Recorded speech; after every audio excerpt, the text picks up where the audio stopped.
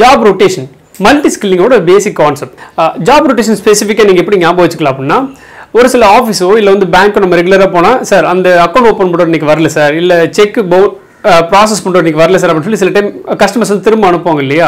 அப்படின்னா ஒருத்தர் இருந்தால் தான் அந்த வேலை முடியும் அப்படின்ற மாதிரி ஒரு சுச்சுவேஷன்ஸ் இருக்கு இல்லையா? இதெல்லாம் பிரேக் பண்ணுறதுக்காக அடிப்படையாக ஃபாலோ பண்ணுறது ஜாப் ரொட்டேஷன் சிம்பிளாக எப்படி ஞாபகம் வச்சுக்கலாம் அப்படின்னா இப்போ ஒரு ஹெச்ஆர் வந்து ரெக்ரூட் பண்ணியிருக்காங்க ஃபார் ரெக்ரூட்மெண்ட் சரிங்களா? ஆர்கனைசேஷனில் ரெக்ரூட்மெண்ட் ப்ராசஸ் மட்டும் பார்க்குறதுக்காக எடுக்கிறாங்க. ஒரு குறிப்பிட்ட காலம் கழிச்சு அவர் வந்து ட்ரைனிங் அண்ட் டெவலப்மெண்ட் ப்ராசஸ்க்கு மாற்றுறாங்க அதுக்கப்புறம் கொஞ்ச நாள் கழிச்சு ஸ்டாச்சுட்டரி கம்ப்ளைண்ட்ஸ் மாற்றுறாங்க அப்படின்னா அவருக்கு எல்லா ப்ராசஸ் பற்றின அண்டர்ஸ்டாண்டிங் கிடைக்கும். எல்லா ப்ராசஸும் அவர் வந்து கற்றுப்பார் ஒன்று ப்ளஸ் ஆர்கனைசேஷனும் ஒருத்தர் மட்டும் டிபெண்ட் பண்ணி இருக்காமல் எல்லா டைமும் ப்ராசஸ் வந்து தொடர்ந்து நடந்துகிட்டே இருக்கும். ஸோ ஜாப் ரொட்டேஷன் இனிஷியலாக இண்டக்ஷன் ப்ரோக்ராம் நடக்கும்போதே மோஸ்ட்லி எல்லா ஹெச்ஆரும் என்ன பண்ண செய்வாங்கன்னா இப்போ ப்ரொடக்ஷனுக்கு ஒரு ஹெச்ஆர் எடுத்தாங்க இல்லை இந்த ப்ரொடக்ஷனுக்கு ஒரு ஒரு எம்ப்ளாயி எடுத்தாங்கன்னா அவர் வந்து சேல்ஸ் மார்க்கெட்டிங் பேக்கிங் முதற்கொண்டு எல்லா ப்ராசஸும் போக செய்வாங்க. ஸோ தட் ஆர்கனைசேஷன் பார்த்தீங்கன்னா ஒரு ஹோலிஸ்டிக் அப்ரோச் என்னவா இருக்குது ஓவரால் ஃபங்க்ஷன் என்ன இருக்குன்னு சொல்லி அண்டர்ஸ்டாண்ட் பண்ணிக்க முடியும்.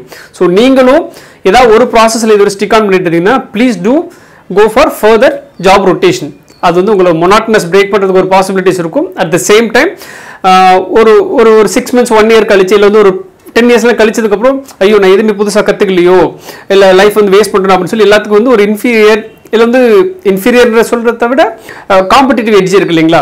மார்க்கெட்டில் இருக்க ஒரு காம்படிஷன் வந்து நம்மளை ஃபேஸ் பண்ண முடியாத ஒரு இன்செக்யூரிட்டி வர சொல்லும் எப்போனா நமக்கான ஸ்கில் அப்கிரேடேஷன் பண்ணல இல்லை புதுசான விஷயங்கள் கற்றுக்கல அப்படின்னா கண்டிப்பாக ரொம்ப பெரிய ட்ராபேக் இருக்குது செய்யும். ஸோ ஜாப் ரொட்டேஷன் அப்படின்றது ஆர்கனைசேஷனே உங்களுக்கு ஆஃபர் பண்ணல அப்படின்னாலும் please you take initiative to go further சரிங்களா? நீங்கள் வந்து ஒரு இப்போ ஹெச்ஆர் வந்து நார்மலாக வந்து ஒரு ரெக்ரூட்மெண்ட் பேசிஸ் இருந்தீங்கனாலும் இப்போ ஹெச்ஆர் பிபி இல்லை வந்து ஹெச்ஆர் சாஃப்ட்வேர்ஸ் என்ன இருக்குது டைம் ஆஃபீஸ் பற்றின அப்டேட் பற்றின சாஃப்ட்வேர் என்ன இருக்குது இதை பற்றி நீங்களே ஒரு இனிஷியேட் எடுத்து புதுசாக கற்றுக்கிறது மூலமாக உங்களுக்கான ஸ்கோப் வந்து நீங்கள் யூ ஆர் மேக்கிங் வைட் யாரோ ஒருத்தர் டிபெண்ட் பண்ணி இல்லாமல் so job rotation organisation offer பண்ணாங்க அப்படின்னா please take it immediately suppose கொடுக்கல அப்படின்னா you take an initiate to learn further skill that make sure your competitive edge in the market